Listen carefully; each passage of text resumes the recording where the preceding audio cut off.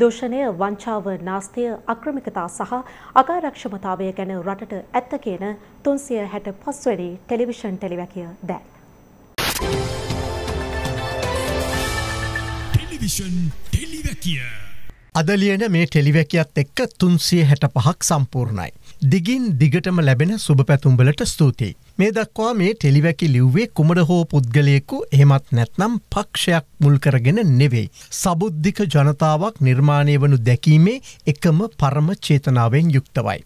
ප්‍රශ්න කරන සක්‍රිය පුරවැසියන් උදෙස්සායි. ඒ නිසයි වදින තැනකට වදීවා රිදින තැනකට රිදේවා රිදී වැදී හෝ හැදේවා කියලා ලියන්නේ. මේතාක් ලියපු ටෙලිවැකිවලින් රිදුන අයත් එමටයි. හැබැයි එකක් මතක තබාගත යුතුයි. අප කුමන අවස්ථාවක හෝ ජාතිය කුලේ ආගම ආදී සාධක පදනම් කරගෙන ලිව්වෙත් නෑ ලියන්නෙත් නෑ. ඒවගේමයි පෞද්ගලික අපහස කළෙත් නෑ කරන්නෙත් නෑ. නමුත් මේ රට හොරාකාපු මේ රට මේසා විශාල ප්‍රපාතයකට ඇදලදාපු උන්දලට අනුකම්පා කරලත් නෑ අනුකම්පා කරන්නෙත් නෑ. හොඳේ එහිලා මේ ටෙලිවැකි තුන්සිය හැට පහපුරාම අපේ නිර්දයේ විවේචනයට හසුවුණු කණ්ඩායම් තුනක් ඉන්නවා.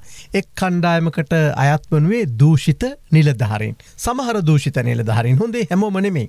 අනිත් කණ්ඩායමට අයත් වනුවේ ව්‍යාපාරවලින් කූට ලෙස මේ රට හොරා කන සමහර දූෂිත ව්‍යාපාරකින් හරිය අනිත් කණ්ඩායම තමයි ඉතින් වසර හැත්ත පහක් පුරා නිදහස ලැබුණු දවසඉඳලා තමන් අතට බලය ලැබිලත් මේ රට හදන්න මේ රට දියුණු කරන්න බැරිවුණු දූෂිත දේශපාලන පැලැන්තිය. හරිද මේ පිරිස නින්දිතයි දූෂිතයි. මේ පිරිස අතර ලීක්වාන් යූල මහතීර් මොහොමඩ්ල හිටියේ නෑ කියලා අප පෙන්වා දුන්න අදටත් පේනතෙක් මානයක නැති බව අභිවාධාත්මකයි.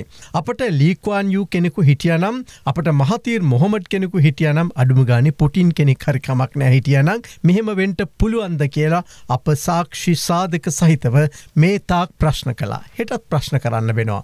අදත් ඒ ප්‍රශ්න ටිකම සාරංශගත කරන්න ඔන්න හොඳට හගන්න. මේ වන විට මේ සුන්දර රට තියෙන්නේ ණය කියන ගැඹුරු මුහුදෙක් ගිලෙමින්. හොඳේ අපේ සමස්ත ණයබර ඇමරිකානු ඩොල බිලියන අනූ එක පැන්න.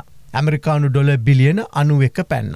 දැන් තවත් නයම තමයි ඉල්ලමින් ඉන්නේ හරිද මේ කන්නෙත් මතක තියාගන්න ණයට අරගෙන. හරිද දේශය සම්පත් දියුණු කරනවා වෙනුවට කාට හෝ විකුණලදාලා කීයක් හෝ අරගෙන අවුරුදු පහක් කන්න දීලා අවුරුදු පහක් අපිට කන්න දීලා අනිත් කණ්ඩායමට ඔවුන් අපි මාරු කල්ලා රට බාර දෙනවා. හරිද ඊට පස්සේ ඒ කණ්ඩායම ඔන්න ඒගොල්ලු කන්න පටන් ගන්න. හරි මේ ප්‍රධාන දේශපාලන ප්‍රවාහයත් එක්ක එකට බැඳුණු හොර දූෂිත සමහර රාජ්‍ය නිලධහරින් මාරුවෙන් මාරුවට ටයි මාරු කරමින් හොරා කනවා. තමන් කිසිම දවසක හොරාකාල නැත්නම්. දූෂණය වංචාවට සම්බන්ධ නැත්නම් අපි මේ ටෙලිවැකි පුරාම කළ අභියෝගයට උත්තරදෙන්ට පුළුවන් හරිද අදත් පුළුවන් මොකක්ද අභියෝගය තමන්ට ලැබෙන මන්ත්‍රී වැටුපෙන්. තමන්ට ලැබෙන දීමනාවලින් සහ අර කෝටි පහක විතර කාර්පමිට් එක තියෙන්නේ එකත් විකුණනවානේ හොඳයි ඒකත් විකුණලා. ඔහේලා මේ තරන් සැපවත් ජීවිතයක් ගත කරන්නේ කොහොමද කියලා අපිට කියලා දෙන්න. හරිද ප්‍රශ්නය මේ සමහර ප්‍රකෝටිපති නිලධාරින්ටත් වලංගුයි හොඳේ ප්‍රකෝටිපති නිලධාරින්. හරිද?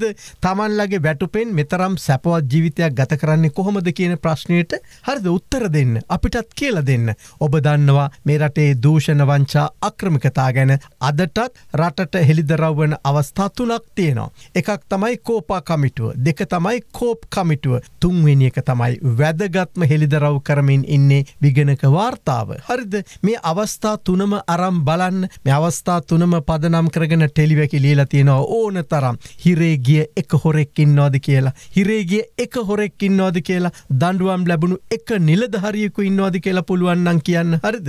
එකට හේතුවක් තියෙනවා. අප නිතරම අවධාරණය කරන හේතුව තමයි එකට මුල් වෙන්නේ. ඒ තමයි රටක් දියුණු කරන්නට පුළුවන් නීතිය සහ විනය මත ක්‍රියාකිරීම තුළ පමණමයි. නීතිය සහ විනේ මත ක්‍රියාකිරීම තුළ පමණමයි. හොඳේ රටක නීතිය ක්‍රියාත්මක වියයුත්තේ රටක් හදන්න පුළුවන් ඉහල සිට පහලටමයි. හරිය අපේ රටේ ඉහල සිට පහලටම දූෂිතයි.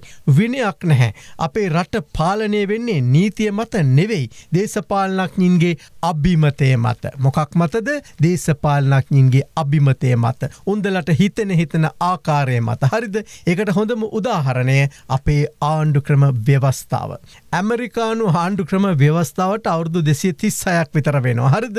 සංශෝධන විසි හතයි. අවුරුදු දෙසිය තිස්සායකටව සංශෝධන විසි හතයි හරිද? අපේ ආණ්ඩු ක්‍රම ව්‍යස්ථාවට අවුරුදු හතලිස් පහයි සංශෝධන විසි එකයි හරිද? පේනවද? පේනවද ඔබට? නීතිය මත පාලනය හදාගන්න බැරිම ස්ථානය නිර්මාණය වෙන්නෙම ඔය ජයාර්ගේ ව්‍යවස්ථාව ඇතුළ ඉඳලා. හොඳේ ඇමරිකාව වගේ රටක ජනාධිපතිත් නීතියට යටයි.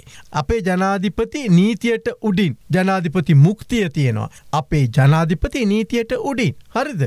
ඔහුට මුක්තිය තිබෙනවා. ජනාධිපති තමන්ට ඇති මුක්තිය මත එයාට හිතවත් අයට ජනාධිපති මුක්තිය දෙනවා හරද මේක තමයි ජනාධිපති විදායක මුක්තිය තුළ ඇති භයානකකම.